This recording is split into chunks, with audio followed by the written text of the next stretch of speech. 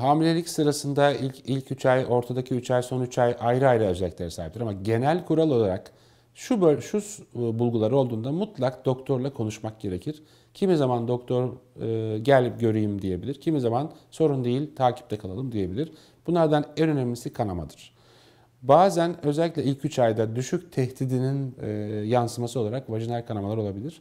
Bu kimi zaman tedavi gerektirir ama her zaman bakmak ve incelemek gerektirir. İkincisi çok şiddetli kramp tarzı ağrılardır. Bu da yine ilk 3 ayda gebeliğin henüz ultrasonografi ile yerinin konfirme edilmediği durumlarda dış gebelik ihtimalini ekart etmek amacıyla mutlak bakmak gerekir. 39 dereceyi bulan ateş yine önemlidir. Kimi zaman gebelikle ilgili, kimi zaman gebelikle ilgisiz konular olabilir ama ateş bebeğin ilk 3 aydaki organ gelişimini de etkileyebileceği için mutlaka e, gebeliği izleyen doktorun bu konuda bilgilendirmesi gerekir.